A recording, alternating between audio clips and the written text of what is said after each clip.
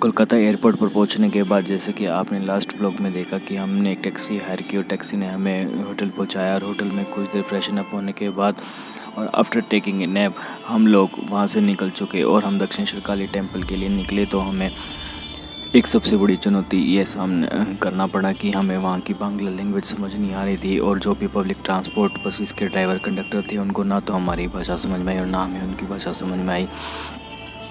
तो हमने सड़क किनारे एक चाय वाले से बात की और वो बेसिकली यूपी से रहने वाला था तो वो हमारी लैंग्वेज समझ गया और उसने हमें बताया कि आप इस टैक्सी में बैठो और ये आपको सीधा दक्षिणेश्वर काली टेंपल पहुँचाएगी। तो हमने ऐसे ही किया और ऐसे टैक्सी में बैठने के बाद बहुत लंबा जाम था, शिवरात्रि का दिन था तो दोस्तों हमें काफ़ी टाइम लग गया सड़क पर जाम की वजह से बट उसने बहुत अच्छे से हमें दक्षिणेश्वर काली टेंपल पहुँचा दिया।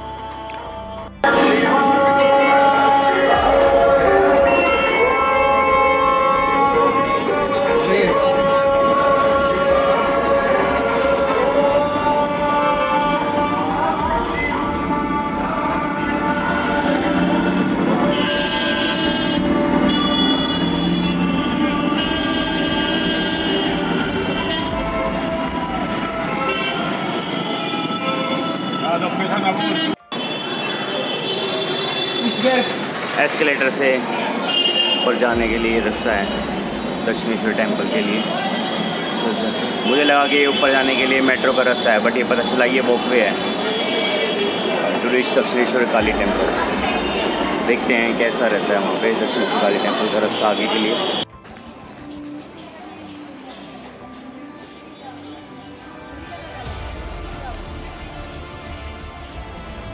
जैसे हम एस्केलेटर से उतर के वाकवे पर पहुँचे तो कम से कम डेढ़ से दो किलोमीटर लंबा वाकवे था जो सीधा माँ दक्षिणेश्वर काली मंदिर के मुख्य द्वार पर उतरेगा। और इस वाकवे पर आपको बहुत सारी दुकानें देखने को मिलेंगी जहाँ पर आप माता के मंदिर में जाने के लिए वहाँ से प्रसाद, चुनरी और नारियल सोलह श्रृंगार वगैरह वहाँ पर भेंट चढ़ाने के लिए आप ले सकते हो और ये काफ़ी सुंदर बनाया हुआ था पूरा वाकवे जैसे कि दिल्ली में मेट्रो स्टेशन का वाकवे इस तरह का ये वाकवे था, काफ़ी लंबा और बहुत ज़्यादा भीड़ थी उस दिन दक्षिणेश्वर मंदिर में, क्योंकि एक तो शिवरात्रि थी। वाकवे की जो गेट की लेज़र कटिंग है, वो भी दक्षिणेश्वर काली टेंपल के निशान से की हुई है। चलो हम आपको इसको थोड़ा पास से दिखाते हैं। ये देखिए। गेट की लेज़र कटिंग। जय माँ जय माँ जय माँ दक्षिणेश्वर काली। जय माँ काली घाट। ये रहा माँ का दक्षिणेश्वर। काली टेंपल का गर्भगृह। जय हो माँ, जय श्री दक्षिणेश्वर माँ का प्रवेश द्वार। तो यहाँ से हम एंट्री करें माँ के प्रांगण में। और यहाँ से माँ दक्षिणेश्वर काली का विशाल प्रांगण आप प्रांगण आपको देखने को मिलेगा। और ये जो आप इस पे वॉल पेंटिंग देख रही है स्वामी रामकृष्ण परमहंस की, जो माता काली के सबसे बड़े उपासक थे।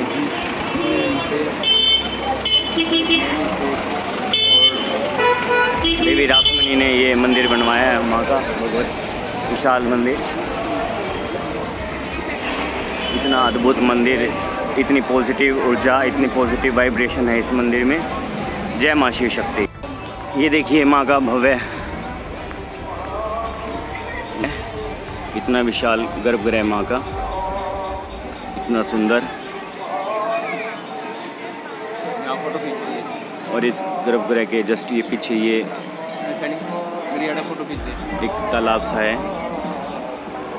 बाकी आगे अभी हम मंदिर के अंदर चलते हैं गर्भगृह के अंदर तब सब कुछ चीज़ें दिखाते हैं। जय माँ Bhadrakali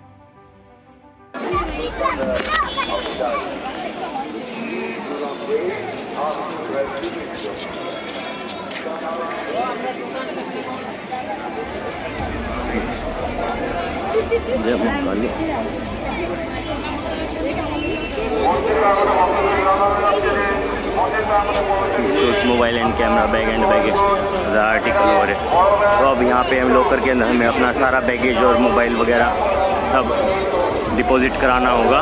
तो अंदर फ़ोन ले जाना अलाउड नहीं है। तो चलो चल करते अंदर जाके माँ दक्षिणेश्वर काली के दर्शन। जय माँ भद्रकाली जय माँ शिव शक्ति। तो सुबह ग्यारह बजे माँ दक्षिणेश्वर काली के दर्शन के लिए लाइन में लगे थे और तीन बजे वहाँ से निकल के फिर महादेव के बारह ज्योतिर्लिंग पर जलाभिषेक किया। तो उसके बाद फाइनली अब उसके पीछे हमने माँ गंगा के दर्शन किए तो फाइनली अब हम गर्भगृह से बाहर निकले हैं। दक्षिणेश्वर काली माता के मंदिर से।